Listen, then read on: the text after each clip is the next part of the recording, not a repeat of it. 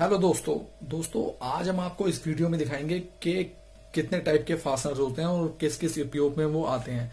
जैसे हमारे पास छह टाइप के फास्टनर हैं, कोई गीजर के लिए है, कोई एसी के लिए कोई एलसीडी के लिए है, या कोई नॉर्मल लाइट वेट की किसी भी चीज़ के लिए है। तो ये हम आपको उसकी क्वालिटी और प्राइस दोनों ही हम आपको इस वीडियो में दिखाएँगे, लेकिन वीडियो आपको पूरी एंड तक देखनी पड़ेगी। और अगर वीडियो दोस्तों अच्छी लगे तो वीडियो को लाइक ज़रूर करना और चैनल को सब्सक्राइब करना और कमेंट करना और बेल आइकन को ज़रूर प्रेस करना। तो चलिए दोस्तों, हम चलते हैं फास्टनर्स की तरफ़।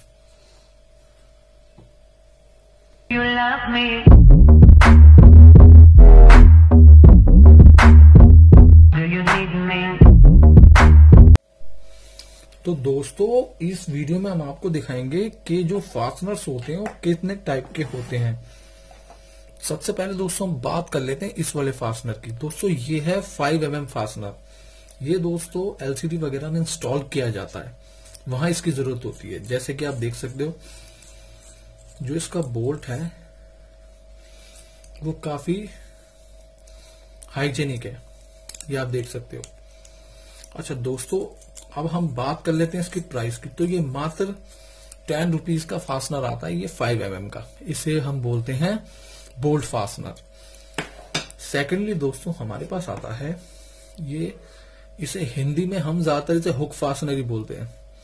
ये दोस्तों काम में आता है, जो सीलिंग फ़ैन वगैरह होते हैं, उसमें लगाने के। इसमें आप ये देख सकते हो, इसका जो बोल्ट जो इसकी जो इसकी जो कैपेसिटी है क्वालिटी है इसकी ये दोस्तों आप देख सकते हो, काफ़ी हैवी है क्वालिटी भी इसकी। अब दोस्तों, बात कर लेते हैं इसकी प्राइस की। तो दोस्तों, इसकी एक की प्राइस है फोर्टी रुपीज़ ये जब फ़ैन जैसे कई जगह देखा होगा आपने, जब सीलिंग फ़ैन वगैरह में ऑप्शन नहीं बचता, अलग से फ़ैन इंस्टॉल करना होता है, तब हमें ये लगाया जाता है। अच्छा तीसरा दोस्तों, हम बात कर लेते हैं इस वाले फास्टनर की। ये दोस्तों इसकी आप शेप देखोगे एल टाइप की है। ये आपको दिख रहा होगा शेप एल टाइप की है। अच्छा अब इसका क्या है? ये दोस्तों नॉर्मली गीजर के अंदर यूज़ होता है और ये ज़्यादातर जैसे आपने देखा होगा, इसमें डबल क्लैम्प के जो गीजर होते हैं, उनमें ये यूज़ होता है।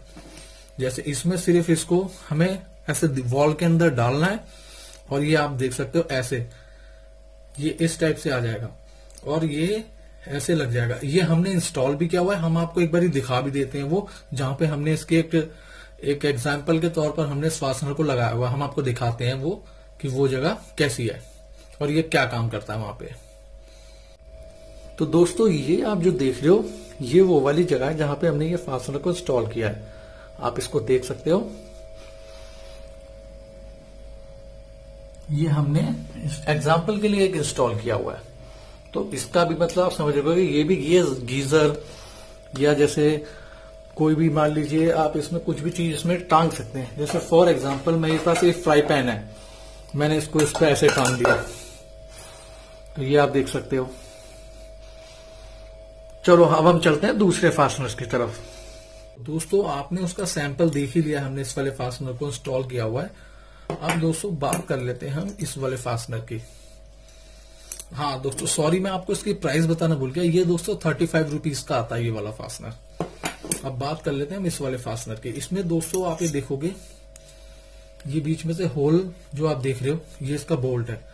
ये पहले दीवार में ऐसे होल करके ड्रिल मशीन से लगाया जाता है। बाद में इस कील की मदद से इसको यहाँ से लगा के हैमर से पंच किया जाता है ताकि यहाँ से जो ये आप देख रहे हो इसके ये चार कोने, ये दीवार में जाके फैल जाता है, जिससे कि इसकी ग्रिप मज़बूत हो जाती है। और इसकी दोस्तों जो कीमत है वो रहेगी हमारी फिफ्टीन रुपीज़ ओनली इसके बाद दोस्तों आ जाते हैं ten M M bolt fastener के ऊपर। ये आप देख सकते हो। ये भी दोस्तों गीजर और एसी में यूज़ होता है तो इसकी भी बिल्ड क्वालिटी काफ़ी अच्छी है। तो इसकी भी दोस्तों जो इस वाले को हमने आपको कंपेयर किया, ये इसके जैसा ही काम करेगा। इसमें भी आप जो देख सकते हो, इसका जो बोल्ट साइज़ है वो भी टेन एम एम है चार इंची बोल्ट साइज़ है। तो इसकी भी जो दोस्तों कीमत रहेगी वो ज़्यादा नहीं फिफ्टीन रुपीज़ पर फास्टनर की रहेगी। उसके बाद फाइनली हमारे पास आ जाता है ये। ये दोस्तों जैसे आर वगैरह इंस्टॉल होते हैं, या कोई भी आप किसी भी चीज़ को, हल्की चीज़ों को इंस्टॉल करने के लिए, ये पहले ड्रिल मशीन से ये प्लास्टिक की ये गिट्टी लगाई जाती है। उसके बाद दोस्तों, इसमें आप देख सकते हो, यहाँ पे ये बोल्ट को लॉक किया जाता है स्क्रू ड्राइवर की मदद से। ये ऐसे दोस्तों ये स्क्रू ड्राइवर की मदद से अंदर जाता है। तो यही है दोस्तों, इसके हमने रेट और क्वालिटी आपको बता दिया। ये आपके थर्टी रुपीज़ के चार आते हैं। चार गिट्टी, चार बोल्ट दोस्तों वीडियो अगर आपको अच्छी लगी हो तो इस वीडियो को लाइक करें और जिस किसी ने हमारा चैनल सब्सक्राइब नहीं करा चैनल को सब्सक्राइब करें और बेल आइकन को प्रेस करें ताकि हमारी आने वाली वीडियोस की नोटिफिकेशन आपको मिल जाए और कमेंट करके हमें ज़रूर बताएँ।